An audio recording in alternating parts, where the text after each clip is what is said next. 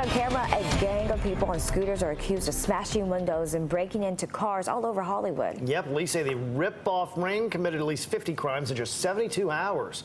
You see that scooter rider look in the SUV and leave. He comes back with a tool, breaks the window, then grabs the stuff out of the SUV.